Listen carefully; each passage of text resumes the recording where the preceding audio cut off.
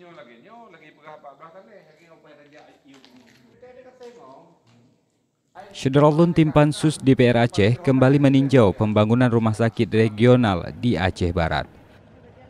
Pansus dari daerah pemilihan 10 ini menyorot pengerjaan sejumlah tiang bangunan yang dinilai tidak rapi.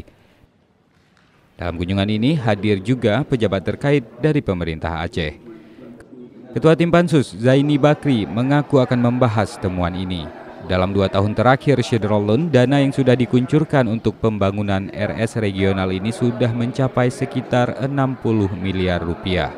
Sementara untuk anggaran 2019 kembali dialokasikan anggaran 49 miliar rupiah lebih dalam APBA dan kini prosesnya dalam tahap tender. Dari Melabuh, Rizwan, Serambi On TV.